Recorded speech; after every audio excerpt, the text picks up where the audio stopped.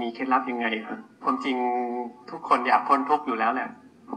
ทุกคนที่มาหัดภาวนาอยากอะไรเนี่ยจริงทุกคนอยากพ้นทุกข์อยากมีความสุขอยู่แล้วทีนี้แรงบันดาลใจก็คือสำหรับตัวอาตมาเองรู้สึกว่าชีวิตมันมีแต่ความทุกข์นะ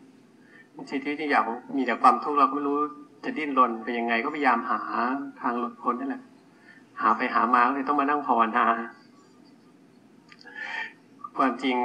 พระโสดาบันไม่ยากนะไม่ยากแบบไม่ยากแบบที่เราคิดกัน แล้วก็พระสดพระโสดาบันก็ไม่ใช่ อะไรที่ยากจนทำไม่ไหวอะไรเงี้ยนี่ภาวะของพระโสดาบันก็คือพระโสดาบันเนี่ยรักสักละสักยทิฏฐิแล้วสักยทิฏฐิก็คือความยึดถือไอ้ความเห็นว่าร่างกายจิตใจเนี่ยเป็นตัวเรา ที่มันยึดถือ เพราะว่าเรามีความเห็นผิดที่ไปยึดถือเนี่ย การที่เราจะเป็นพระโสดาบันก็คือ ใช้การมองเห็นถูกๆเนี่ยเรียกว่าทัศนะ ก็คือเรามีสติตั้งมั่นอยู่เนี่ยมันจะเห็นเลยทุกสภาวะเนี่ยมันไม่ใช่ตัวเรา มันเป็นของที่ถูกรู้ถูกดูของที่ถูกรู้ถูกดูเนี่ยมันไม่ใช่ตัวเรา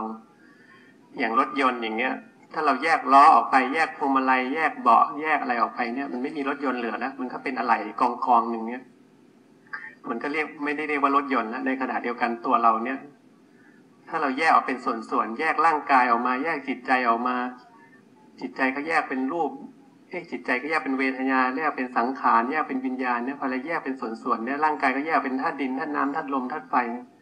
พอเราแยกไปเป็นส่วนๆเนี่ยแต่ละส่วนเนี่ยมันไม่มีความเป็นตัวเรา มันไม่ได้บอกเลยว่าเป็นตัวเรา อย่างเช่นเราแยกแขนไปข้างหนึ่งเนี่ยแขนมันก็ไม่ได้บอกว่ามันเป็นตัวเรา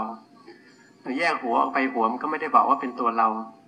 แยกหัวใจออกไปหัวใจก็ไม่ได้บอกว่าเป็นตัวเรา แยกสมองออกไปสมองก็ไม่ได้บอกว่าเป็นตัวเรา ในขณะเดียวกันนามาทำเหมือนกัน เดี๋ยวมันก็มีความคิดความคิดมันก็ไม่ใช่ตัวเรา ความคิดมันไม่ได้บอกว่าเป็นตัวเรา สัญญาทั้งหลายความปรุงแต่งทั้งหลายมันก็ไม่ได้บอกว่าเป็นตัวเรา เวทนาความสุขความทุกข์ความเจ็บความปวดอะไรพวกนี้มันก็ไม่ได้ใช่ตัวเรานั้นทันทีที่เรามีสติขึ้นมาแล้วมันเกิดแยกแยกออกไปเป็นส่วนๆเนี่ยที่มันจะแยกได้เพราะจิตมันมีความตั้งมั่นขึ้นมา นั้นที่เราฝึกเพื่อให้จิตมันมีกำลังความตั้งมั่นมาเนี่ย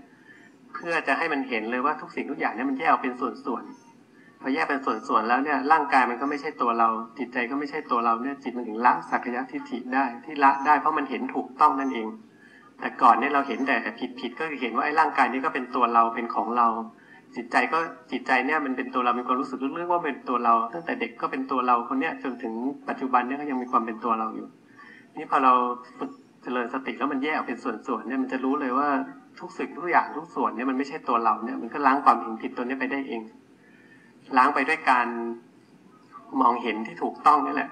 นี่สิ่งที่จะทำให้เห็นได้ถูกต้องก็คือต้องมีสติก่อน แล้วก็มีสัมมาสมาธิก่อน พอมีสติมีสัมมาสมาธิมันก็จะเห็นเองว่าร่างกายก็แยกอยู่ต่างหากนะจิตใจก็แยกอยู่ต่างหาก ของที่เป็นแยกอยู่ต่างหากเนี่ยแต่ละตัวมันก็ไม่ได้บอกเลยว่าเป็นตัวเรา จนวันหนึ่งมันย้อนทวนเข้ามาที่จิตเองว่าจิตเองก็ไม่ใช่ตัวเราเนี่ย มันก็จะเกิดละความเห็นผิดออกไปเอง